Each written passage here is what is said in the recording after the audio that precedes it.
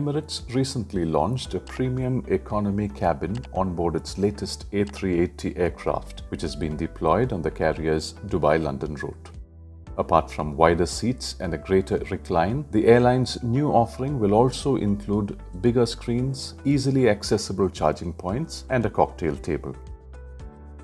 Although offered as only an upgrade at the moment, Emirates is planning to install premium economy seats on its existing fleet of Airbus A380 jumbo jets. Emirates President Tim Clark had previously said that the premium economy experience will be offered as a complimentary upgrade until the carrier has a viable number of seats in its inventory.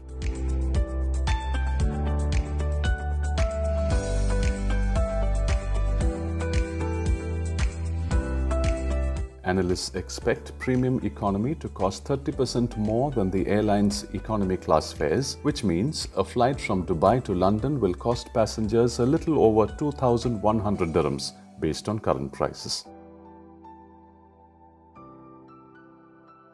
Meanwhile, a flight to India's financial capital Mumbai could be priced at over 650 dirhams.